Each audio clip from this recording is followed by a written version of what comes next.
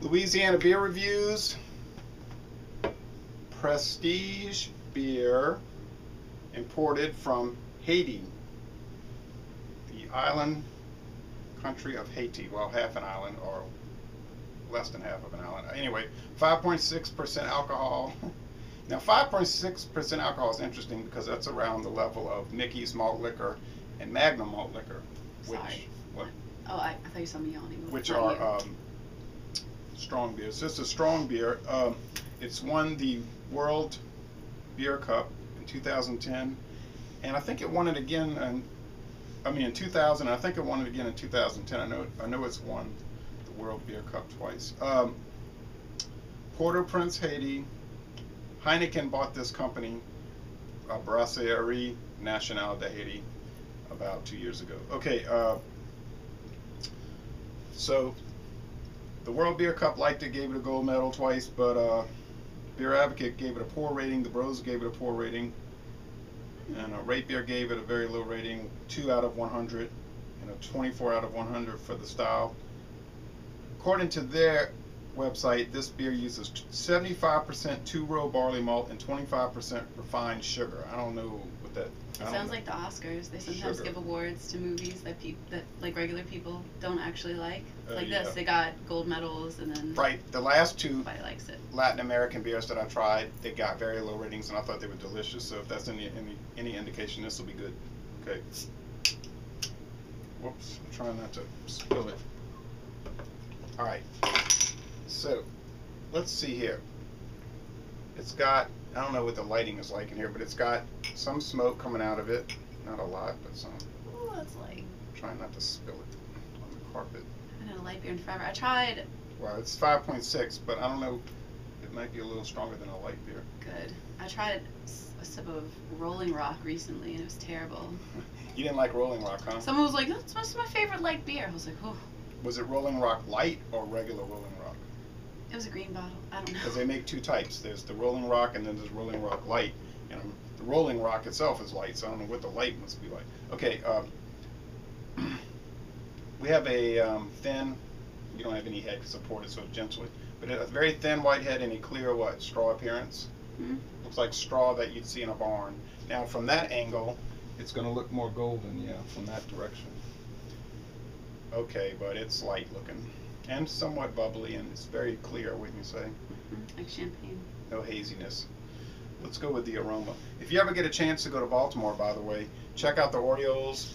Here's a stadium guide that I picked up last month over there. Fantastic stadium. Get it, get in for pretty cheap. Okay, let's go with the smell test. Okay, just like the other two, sharp. Like, you find it's sharp. It has that, um, that's the hop bitterness, I think, coming in. But I find it's got a sweetness. Mhm. almost like a grapey kind of. Grape. It just reminds me of the champagne I had recently. The smell. a little bit of Kind of- vegetable. Give a take a deep inhalation. You might pick up like um like cooked vegetable. Mm-hmm.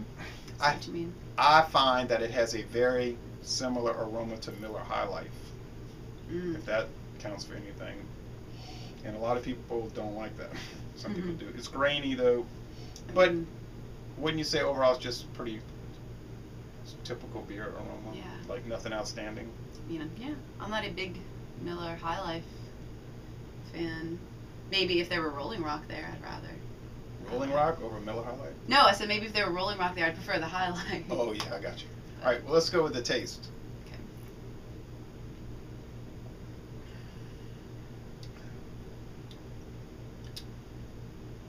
Wow. It's kind of bitter and it's strong. Alcohol, Very- you can pick up the alcohol. I find. Very bitter, very bubbly. Like I can taste all the bubbles, and it's got a it's got a sweeter aftertaste, like like a lighter aftertaste. Like it hits you and then kind of kind of goes down, which is Yeah, uh, there's some Good. bitterness. There's some sugariness. There's grain, corn. I would say. I don't know if it uses corn, but it's a corniness. What do you think? Like, you know, like the corn out of the can. Kinda. I'm just distracted by how the, strong the bubbles are. Oh, super carbonated, huh? It's super carbonated. If you gulp this down, you would make sharp. a, a huge burp, huh? It's very carbonated. It's very strong. Like I said, the the aftertaste is a little bit lighter, but that helps. If the aftertaste were as strong as the initial hit, it wouldn't be drinkable. It certainly has a an alcohol undertaste. You know, you get a little bit of the alcohol in it. I find, which is reminding me of the Mickey's malt liquor, especially the Mickey's malt liquor. So it tastes more like you know what a malt liquor is, hmm just an extra strong beer. Yeah. and it's got that malt liquor. A lot of people don't know what malt liquor is. They think it's something different. It's just extra strong beer, but you can't legally so-called call beer beer if it's too strong. It is oddly refreshing though. Like I didn't want to do too heavy of a beer today because it's so hot outside, 102 degrees. But this is it. It's pretty refreshing. yeah, actually. for on a hot day, I agree. You, Mhm. we almost did the Belhaven What stout. percent? What percent alcohol? Five point six. So it's okay. I'll give you an example. The Rolling Rock is like four point something. Mhm. Budweiser five percent. Budweiser is five oh, and this is five point six. I think if I were eating something with it, it wouldn't be as like like ugh, as, as hard to drink. Ooh, like some crawfish. This would be a good crawfish beer. It's really got bitterness in the middle of the tongue. Yeah, good crawfish beer. I agree. Um, I want a good veggie burger right now. now you know I rated A excellent, B good, C Mhm. fair, D poor, and F undrinkable. How would you do it? Um, I'm usually pretty generous with my ratings, right? Usually, I usually Yeah. am more critical than you are, actually. Um, if I was gonna give it a B, it'd be a B minus, cause it's just not like ooh enough for a full B. I'm gonna go with it. Okay, you say B minus. I'm gonna go with a B just because I like that boldness in the flavor. But I can see where you're coming across with a B minus. It's good, but just so. But I do like the bold aspect to it. So I'm gonna go out on a limb in a way and say Mhm. B. But I'm just don't- as as generous with it if I feel like oh I really should be eating something with this beer. Like if I'm drinking the beer and it's like ooh such a good flavor on its own, but Yeah, but do you think this, these are accurate ratings from Beer Advocate giving it poor no, or uh, rate beer No. a two out of 100? no, that's two out of 100. That's terrible. Like That's like to me that would be a beer that you would sip and you'd almost throw up. You'd gag and. and yet your I bet they off. have like Pabst higher than that. Oh yeah. but a two out of that's that's a shame.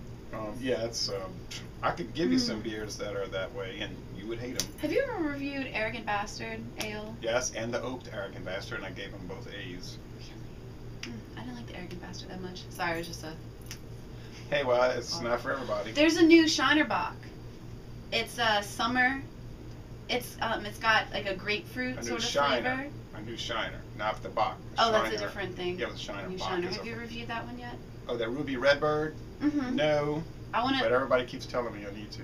You need to. I'll, let me know when you do. It's flavored. Okay, well, Mhm. uh, I'm gonna say it's good or just good. She would say, and I'm gonna we're gonna end this review by I kind of like it the more I drink it.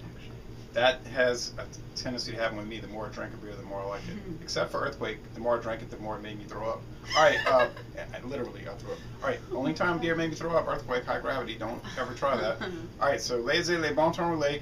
This is a pretty good beer from Haiti, the poorest country in the Western Hemisphere. So we helped them out a little bit buying that one bottle. So we actually helped out Heineken mostly. So I'm going to end this review by saying, y'all come on down to New Orleans.